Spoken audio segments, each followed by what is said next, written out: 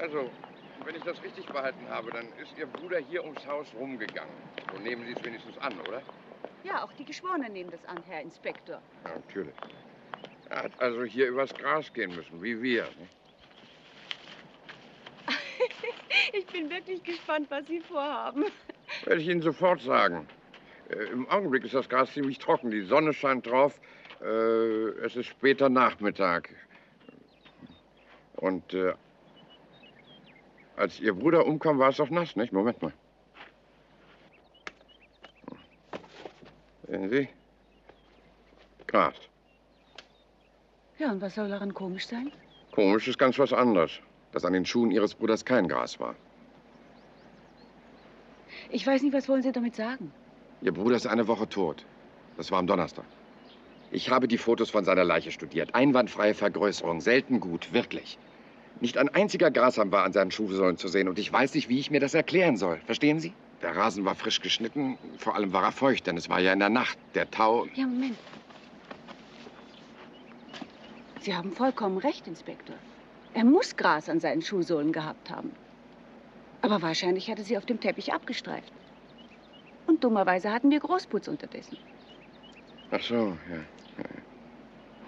Haben Sie noch etwas auf dem Herzen? Ja, noch eine Kleinigkeit. Ich nehme an, Charles hat die Leiter gebracht unterdessen. Anzunehmen. Ja. Äh, geht schnell, Madame. Ich beeil mich. Ich hab's ja versprochen. An dem Morgen, an dem Ihre Frau Mutter ankam, da hab ich hier oben... Die Blumen, schön sind die. Wie aufmerksam. Nein, nein, ich finde sie wirklich schön. Aber als ich den Topf sah, da habe ich mir gleich gedacht, dass die meisten Leute irgendwo vor der Tür einen Hausschlüssel verstecken. Kann doch vorkommen, dass man den eigenen schon mal vergisst, nicht? Äh, sehen Sie... Sehen Sie das hier? Was?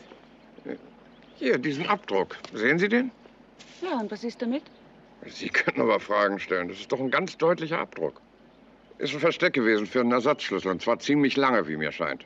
Ja, drauf geregnet hat's auch. Sieht man ganz deutlich. Es ist genau, wie Sie sagen. Hat monatelang da gelegen. Ich habe ihn erst rausgenommen, kurz bevor mein Bruder ums Leben kam. Bryce wusste gar nichts davon. Ich habe ihn selbst wieder weggenommen, als mir einfiel, dass das gar nicht so ungefährlich wäre. Das verstehe ich nicht. Wieso denn? Irgendjemand will bei uns einbrechen, der steckt ihn ins Schloss und schon ist die Alarmanlage außer Betrieb. Das ist ein Argument. Ja, ja. Mhm.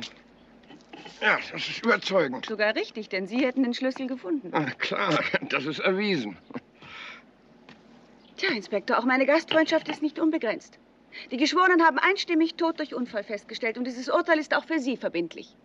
Sie verstehen mich falsch. Ich will doch nicht aufdringlich sein. Ich wollte nur ein paar offene Fragen klären. Ich kann einfach nicht anders. Das ist ein Fehler von mir. Meine Frau hält mir das ewig unter die Nase. Das, äh, ich kann das einfach. ist das wahr? Äh, Sie verstehen jetzt, was mich beunruhigt hat. Ich habe mir einfach gedacht, wenn, äh, wenn das ein Schlüsselversteck war, ja? Ja. Und Ihr Bruder hätte das Versteck gekannt, dann hätte er doch, dann wäre er doch durch die Haustür reingekommen, nicht über die Veranda. Aber ich habe in der Nacht die Wahrheit gesagt, Inspektor. Und genau das habe ich auch vor den Geschworenen getan.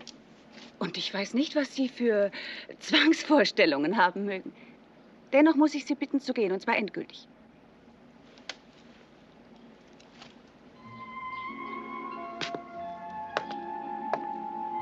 Oh.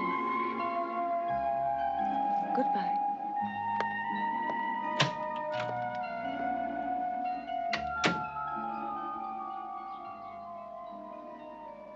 Ich habe nur eine einzige Frage.